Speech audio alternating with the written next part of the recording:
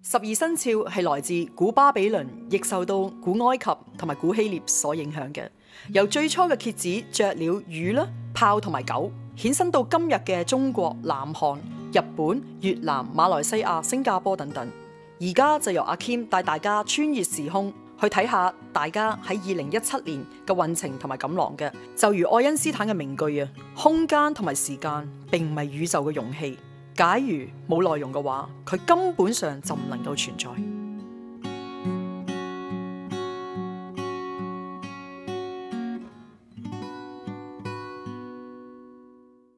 二零一七年啊，為丁酉年、火雞年嘅太歲為唐劫大將軍嘅。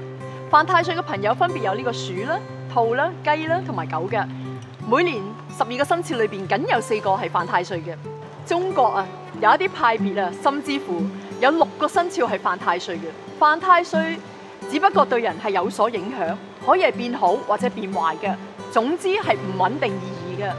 一如阿 Kim 既往所說啊，全球超過七十三億人口，點都唔能夠只係忽單單咁去分開十二類嘅，而生肖而只係用一個地支，即係八字裏邊嘅其中一個字，大家參考一下，當係習俗應下節就算啦。太歲只不過係木星繞過太陽公轉時所產生嘅磁場，而木星繞過太陽公轉一周，大約係為期十二年左右。古人啊係以呢個木星嘅軌跡與十二生肖作對應意義嘅，所以犯太歲嘅你啊係唔需要太過擔心，只要處事謹慎就可以噶啦。記得，因為在乎，所以痛苦。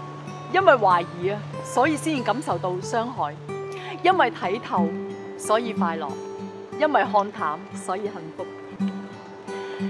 人只係天地嘅過客，隨緣啦。亦希望大家將呢種正面嘅思想啊，燃點開去。願主與你同在。屬鼠嘅朋友咧，喺二零一七年咧，你嘅桃花係非常之旺嘅，有女性嘅貴人啦，更加有意想唔到嘅好消息嘅。但係咧。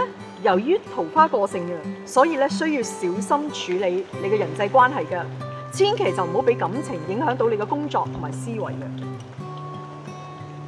對於屬鼠嘅朋友嚟講咧，阿 Kim 送俾你嘅錦囊咧係愛因斯坦嘅名句：The secret to creativity is knowing how to hide your sources。